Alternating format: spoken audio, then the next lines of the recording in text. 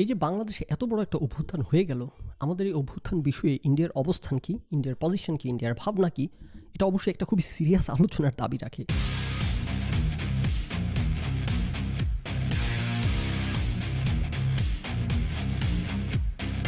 ইন্ডিয়ার অবস্থান আসলেই বেশ কিউরিয়াস সবচেয়ে বড় ধাক্কাটা আমি আমি শিওর আপনারা সবাই আমরা খাইছি, যখন জানতে পারলাম যে ইন্ডিয়া শেখ হাসিনাকে হোস্ট করবে না, দীর্ঘমেয়াদে হোস্ট করবে না, ইন্ডিয়া শেখ হাসিনাকে বলে দিছে আউট এটা তো একটা অবিশ্বাস্য ব্যাপার।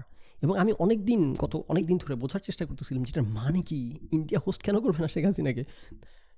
দেশ বিক্রি করে দিল ইন্ডিয়ার কাছে শেখ হাসিনা এবং ইন্ডিয়ার এত ভালো বন্ধু এবং পুরো ইন্ডিয়ান মিডিয়া থেকে শুরু করে এরা সবাই শেখ হাসিনাকে যেভাবে সমর্থন দিয়ে গেছে নট অনলি সরকার অ্যাডমিনিস্ট্রেশন মিডিয়া থেকে শুরু করে এরা সবাই ইন্ডিয়াতে শেখ হাসিনা হইতেছে একেবারে মানে একেবারে তাদের আপন লোক, এমনভাবে তারা আচরণ করে শেখ হাসিনা শেখ পরিবারকে নিয়ে। কেন? কারণ অবশ্যই শেখ হাসিনা শেখ পরিবার ইন্ডিয়ার কাছে পেতে দিয়ে রাখছে সব কিছু এই কারণে। দেখেন, যে কথাটা আমি বলি যে ইন্ডিয়া পাশের এত বড় একটা শক্তিশালী দেশ, তাদের সাথে সবসময় ইকুয়াল ট্রানজ্যাকশনস হবে না। এই বাস্তবতা মেনে নিতে হবে। কিন্তু তার মানে এও না, আবার পাছাটা উদুম করে পেতে দিতে হবে রাইট যেটা আওয়ামী লীগ করতো। সো বিএনপি যেটা করে সেটাও আমি একমত না। আওয়ামী লীগ যেটা করে সেটার সাথেও একমত না। একটা মিডল গ্রাউন্ড আসতে হবে যেখানে পাছাও উদুম করে দিব না, আবার সারাদিন অ্যান্টি ইন্ডিয়ার রেটরিকও ছাড়বো না, যেখানে হচ্ছে যেটা উইল নট হেল্প আস ষোলো বছর ক্ষমতার বাইরে থাকতে হবে যেখানে রাইট ইন্ডিয়া যখন হোস্ট করবে না বললাম আমরা সবাই খুবই অবাক হয়েছি রাইট তো সেটা বুঝতে দুদিন সময় লাগছে এবং সেটা যেটা বুঝতে পারলাম, এটার কারণ হচ্ছে ইন্ডিয়া এই সরকারের সাথে মিলেমিশে কাজ করবে। নতুন যে সরকারই আসুক, সেই সরকারের সাথে মিলেমিশে কাজ করবে ইন্ডিয়া। এই কারণে তারা শেখ হাসিনাকে হোস্ট করতে চাচ্ছে না। কি একটা আমেজিং অবিশ্বাস্য ব্যাপার। মানে তারা নতুন সরকারের সাথে কাজ করা তাদের কাছে এতটাই ইম্পর্টেন্ট যে তাদের প্রুভেন এলাই তাদের প্রুভেন এলাই না বলে বলি, তাদের প্রুভেন আমরা ব্রোকার বলতে পারি। ইন্ডিয়ার পক্ষে ব্রোকিং করতেছিল ব্রোকারি করতেছিল, দেশ বিক্রি করতেছিল, তাকেও তারা হোস্ট করতেছে। মানে এত বড় বিমানি আমরা তো এটা জানি, আমরা সবাই যে বিপদের বন্ধুই প্রকৃত বন্ধু রাইট বন্ধুত্ব টেস্টেড হয় বিপদে পড়লে। সো আমরা এখন দেখতে পাইলাম যখন পুশ খেম টু শফ তারা এখন আর শেখ হাসিনাকে সাথে তো নাই। এমন অবস্থা যে শেখ হাসিনাকে ইন্ডিয়া না রাখলে শেখ হাসিনা যাবে কোথায়? এবং আমরা দেখতে পাচ্ছি এখন শেখ হাসিনার যাওয়ার জায়গা খুঁজে পাচ্ছে না। সারা পৃথিবীতে কেউ হোস্ট করতে চাচ্ছে না। সো শেষ পর্যন্ত there is still a real chance যে শেখ হাসিনা বাংলাদেশে যাইতে হইতে পারে।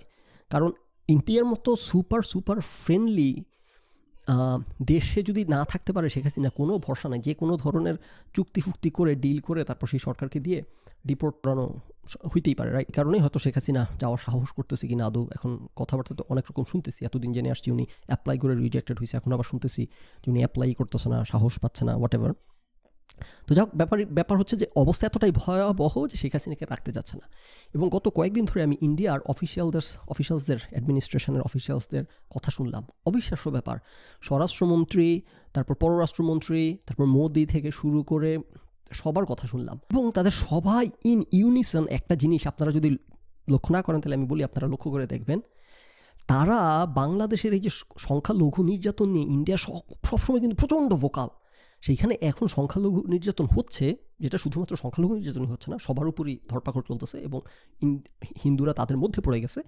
এটা হচ্ছে একটা ব্যাপার। আরেকটা ব্যাপার হচ্ছে ডেডিকেটেড সংখ্যালঘু নির্যাতনও থাকা সম্ভব, যেহেতু সংখ্যালঘুরা সাধারণত দুর্বল হয়, এই কারণে এদেরকে সুযোগ নেওয়ার চেষ্টা করে অনেকে এদেরকে আক্রমণ করে।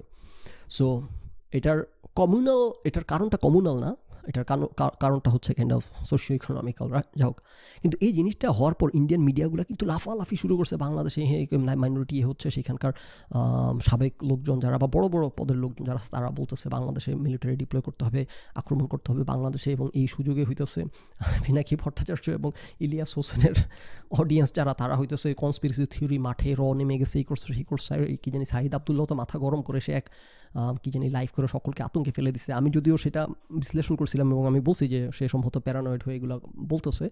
কিন্তু স্টিল আমি ভিডিওটা শেয়ার করছি যে তবুও মানে সতর্কতার মাইন্ড নাই, সাবধানের মাইন্ড নাই রাইট স্পেশালি দেশ দেশটি ফলাটাইল অবস্থায় ছিল। তো এখন লুকিং ব্যাক জিনিসটা এত হাস্যকর লাগতেছে কারণ India one hundred percent hands off বাংলাদেশের এই ব্যাপারে। তারা তো হাত নাক গলানোর চেষ্টা করতেছেই না, বরং তারা রেডি হয়ে বসে আছে এই সরকারের সাথে মিলেমিশে কাজ করতে। অ্যাগেন সো মাচ সো যে তারা বাংলাদেশের এই পুরো ঘটনা নিয়ে পুরোপুরি টাইট লিফট একদম হান্ড্রেড পার্সেন্ট টাইট লিফট কোনো কমেন্ট তো করতেছি না। কমিউনাল ভায়োলেন্সের বিষয়ে খোঁচাইতেছে সাংবাদিকরা, তারপরও কোনো ধরনের নেতিবাচক একটা কমেন্ট এখন পর্যন্ত ইয়ে থেকে আসে নাই like people in a position of authority like serious অফিসে যারা আছে, তাদের কাছ থেকে আসে নাই। সাংবাদিকরা খোঁচাইতেছে না এবং অন্যান্য পলিটিশিয়ানরা লাফাইতেছে, কিন্তু যারা রিয়েল দায়িত্বপ্রাপ্ত স্বরাষ্ট্র, পররাষ্ট্র মন্ত্রণালয়, মোদী, তারা কেউ কিন্তু আপনি লক্ষ্য করে দেখেন এগুলো নিয়ে কোনো ধরনের উস্কানিমূলক তো দূরের কথা অলমোস্ট কোনো কমেন্টই করতেছে না। ইন্ডিয়ার অবস্থান আমরা তার মানে বুঝতে পারলাম যে ইন্ডিয়া যে কোনো মূল্যে বাংলাদেশের সাথে কাজ করতে চায় সো মাচ সো শেখ হাসিনাকেও রাখতেছে না কিক আউট করতেছে। এতদিনের এতদিনের প্রুভেন ফ্রেন্ড এবং শেখ হাসিনা তো আমি শিওর মরমে মর্ম হতো যে আমি এভাবে দেশ বেঁচে দিলাম তারপর আমার সাথে এত বড় বেইমানি, বাঙালিও শেখ হাসিনার সাথে বেইমানি করে, ইন্ডিয়ানরাও বেইমানি করে, পশ্চিমও বেইমানি করে, রাখতে চায় না, আহারে, দুঃখজনক। যা হোক পরের প্রশ্ন হচ্ছে যে কেন এরকম বেইমানি করল ইন্ডিয়া? ইয়ের সাথে সাথে, শেখ হাসিনার সাথে। ন্যাশনাল ইন্টারেস্ট আপনাদেরকে যে ন্যাশনাল ইন্টারেস্ট পড়াইতেছি কতদিন ধরে যে আমেরিকানে গিয়ে এসে বাংলাদেশে এই করে যাবে, সেই করে যাবে হ্যাঁ? শুধুমাত্র একটা জিনিস লক্ষ্য রাখবেন যে তাদের ফরেন পলিসিতে কোন জিনিসটাকে প্রায়োরিটাইজ করা হচ্ছে ন্যাশনাল ইন্টারেস্টে কোন জিনিসটা আছে, যেটা আছে সেভাবে করে অ্যাক্ট করবে। রাইট নাও ইন্ডিয়ান ন্যাশনাল ইন্টারেস্টে আছে জিও পলিটিক্স এই কারণে তারা শেখ হাসিনাকে কুরবানি দিয়ে দিচ্ছে। না এটাকে আমার স্পেকুলেশন যে জিও পলিটিক্যাল কারণে, না, এটা আমার স্পেকুলেশন না, আমি এটা কার কথা? স্বরাষ্ট্র ইন্ডিয়ার স্বরাষ্ট্র মন্ত্রণালয়ের স্পোক্সম্যানের একটা ইয়ে দেখতেছিলাম, সংবাদ সম্মেলন, সেখানে সাংবাদিকরা নানান অ্যাঙ্গেল থেকে প্রশ্ন করতেছিল। সেখানে একটা সাংবাদিক এই প্রশ্নটা করছে তো এই প্রশ্নটা শুনে আমি বুঝলাম যেটা তাদের একটা ইন্টারনাল অবশ্যই সিরিয়াস আলোচনা টপিক সেই প্রশ্নটা ছিল এরকম যে এই যে সরকার পরিবর্তন হলো এখন যদি চায়না এবং ইউএসএ বাংলাদেশের বে অফ বেঙ্গলে কোনো পোর্ট নিতে চায়, কোনো ধরনের অ্যাক্সেস নিতে চায়, সেটা তো ইন্ডিয়ার জন্য খুব একটা প্রবলেমেটিক ব্যাপার হবে। এই জিনিসটাকে ইন্ডিয়া কীভাবে ট্যাকল করবে? সো দ্যাট ক্লিয়ারলি শোজ যে একটা সিরিয়াস কনসার্নের জায়গা ইন্ডিয়ার চায়নাকে এবং ইউএসএকে ট্যাকল করা এবং সেটা করতে হলে বাংলাদেশ সরকারের সাথে মিলেমিশে কাজ করতে হবে, বাংলাদেশ সরকারকে ফেভারে রাখতে হবে তাদের। এই কারণে তারা শেখ হাসিনাকে কোরবানি দিয়ে দিচ্ছে। নাও ইট মেক সেন্স কারণ আপনি যদি এখন বর্তমান বৈশ্বিক পরিস্থিতি দেখেন আনপ্রেসিডেন্টের সময় যাচ্ছে। এমনিতে তো থাকে সারা সারা বছরই জিও পলিটিক্যাল ক্যালকুলেশন চলতে থাকে, কিন্তু এখন আনপ্রেসিডেন্টের সময় যাচ্ছে। নাম্বার ওয়ান চায়নার সাথে বর্ডার ইন্ডিয়ার টেনশন দিনকে দিন বাড়তেছে। নাম্বার টু হচ্ছে এই যে কোয়াড গঠন করছে ব্রিক্স গঠন করছে ইকোনমিক ফ্রন্টসে কোয়াড তো মিলিটারি ইয়ে কোয়ালিশন ইকোনমিক কোয়ালিশন হইতেছে যে ব্রিক্স তারপর হচ্ছে যে চায়না তাইওয়ান ইনভেট করবে ইউএসএ পটেনশিয়ালি আমি বলতেছি ইউএসএ চায়না পটেনশিয়ালি ইনভেট করার চেষ্টা করবে এবং ইউএসএ এখানে আসবে এটা বাধা দিতে। তখন ইউএসএ এখানে বেস টেস বানাবে, যেটা শেখ হাসিনা বলছিল, আমি তখন আলোচনা করছি আপনাদের চাম্বাজগুলো গালাগালি শুরু করছে কথা বলায়। আমি বলছিলাম শেখ হাসিনা যখন বলছে ইউএসএ সেন্ট মার্টিন চাইছে, আমি বলছিলাম যে আমার কাছে কথাটা মনে হয়েছে, শেখ হাসিনা একদম মিথ্যা কথা বলা নাই। তারপর আরেকটা এপিসোড করছিলাম ফলো আপ এপিসোড আপনাদেরকে হিন্ট দেখায়, প্রমাণ দেখায় যে এই যে শেখ হাসিনা যে বলছিল কথাটা, যে এটার হিন্ট পাচ্ছি। কি হিন্ট পাচ্ছিলাম, প্রমাণ পাইছিলাম, সেটা তো মনে নাই। তবে আরেকটা এপিসোড করে দেখাইছিলাম রাইট এইসব কারণেই আমি কিন্তু সবসময় আপনাদেরকে ভিহিমেন্টলি বলছি যে ইউএসএ সম্ভবত সাইড নিবে না। কারণ আপনি যদি তাদের কথাবার্তা শুনেন যে তাদের প্রায়োরিটি কোথায় মানে ওয়ার্ডের প্রায়োরিটি লাইস ওইটা যদি আপনি বোঝেন, তাইলে আপনি বুঝবেন যে তারা কি অবস্থান নিতে যাচ্ছে রাইট সো বর্তমান পৃথিবীতে খুব সিরিয়াস কিছু প্রায়োরিটিস ইউএসের জন্য হইতেছে number one priority in the world right now number one even ইউক্রেনও না তাইওয়ান এবং এটা কেন তো অবশ্যই এটা open secret semicon semiconductor industry হচ্ছে তাইওয়ানে। এবং এই কারণে ইউএস এখন রাইট নাও আমেরিকার মধ্যে ইনভেস্ট করতেছে সমানে তাদের নিজস্ব সেমিকন্ডাক্টর ইন্ডাস্ট্রি তৈরি করার জন্য। Why semiconductor industry so important কথা আমাদের অন্যদিকে চলে যাচ্ছে। কারণ হচ্ছে যত যে মিলিটারি যত রকম ওয়েপন টয়েপন আর কি এগুলো সবগুলো প্রিসিশনের জন্য সেমিকন্ডাক্টর চিপ লাগে অ্যাডভান্সড টেকনোলজি বানাইতে গেলে।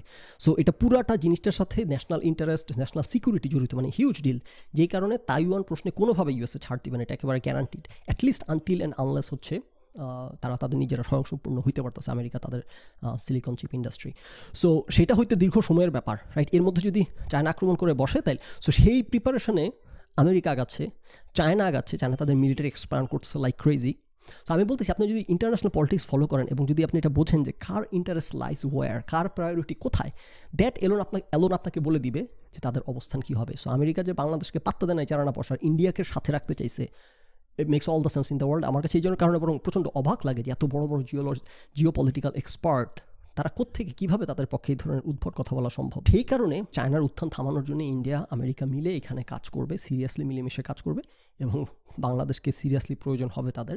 এবং সেন্ট মার্টিন দেখবেন কখনো হয়তো সেন্ট মার্টিন, মার্টিনে বেস করে বসে আছে।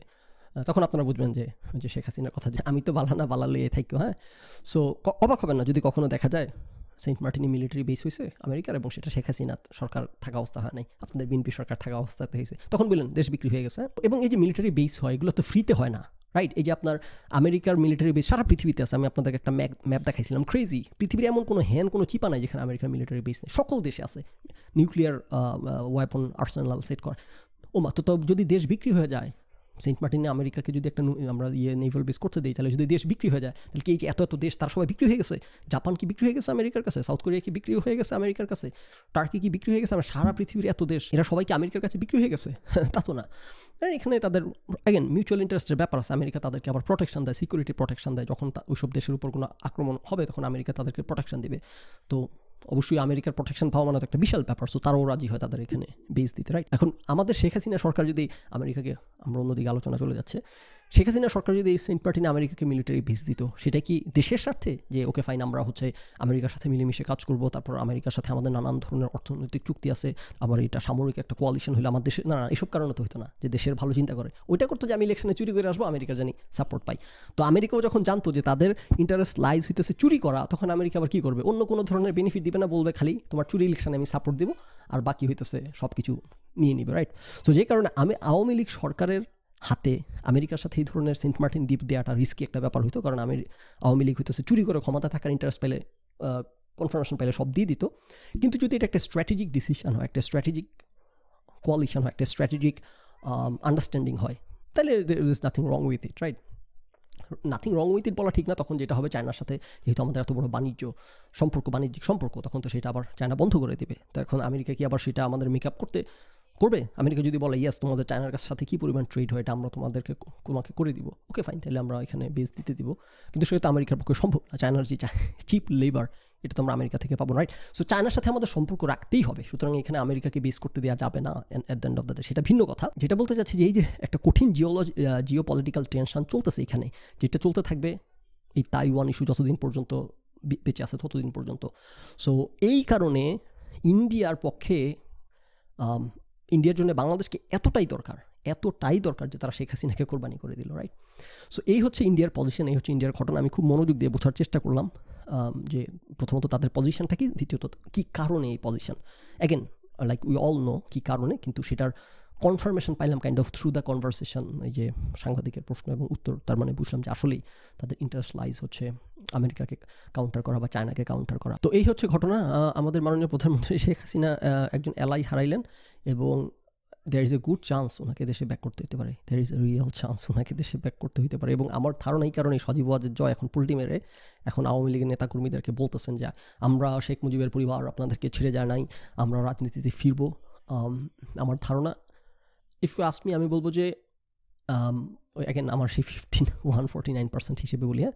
ফিফটি ওয়ান পার্সেন্ট আমি বলব, ওনারা এই নিয়ে কথাগুলো বলতেছেন এই কারণে যে শেখ হাসিনা শেষ পর্যন্ত দেশে ফিরতে নাকি বাধ্য হয় বা তা ওনাকে নাকি এক্সট্রাডাইট করে এই ভয়ে। এক হইতেছে কোথাও জায়গা না পেয়ে ফিরতে বাধ্য হওয়া ওই ইয়ের মতো, ওই যে মুরাদ টাকলার মতো, ওই এমপি মুরাদ, মন্ত্রী মুরাদের মতো সকল এয়ারপোর্টে ঘুরে বাধ্য হওয়া, এটা একটা, অথবা কোথাও একটা গেল, তারপর শেষ পর্যন্ত সরকারের সাথে কোনো একটা চুক্তি হইল, হয়ে ওই সরকার এক্সট্রাডেট করে দিল। অথবা চুক্তি না হইল ইন্টারন্যাশনাল ক্রাইমস ট্রাইব্যুনাল বা কোর্ট থেকে গ্রেফতারি পরোয়ানা জারি হইল। জারি হইলে সেই সব ইয়ের সাথে যারা চুক্তিবদ্ধ আছে সেই সব দেশ অ্যাকনোলজ করে আর কি ট্রাইব্যুনালকে তারা তখন আবার বাধ্য থাকবে গ্রেফতার করতে, শেখ হাসিনাকে রাইট সো তারা মনে হয় ক্যালকুলেশন করে দেখছে যে আমাদের একমাত্র জায়গা হচ্ছে ইন্ডিয়া এবং ইন্ডিয়া যেহেতু ক্লিয়ারলি বোঝা যাচ্ছে, রাখবে না, তার মানে আর পৃথিবীতে আর কোথাও আমাদের সেফ হেভেন নাই। সো এই কারণে হয়তো এগুলো করতেছে আর কি।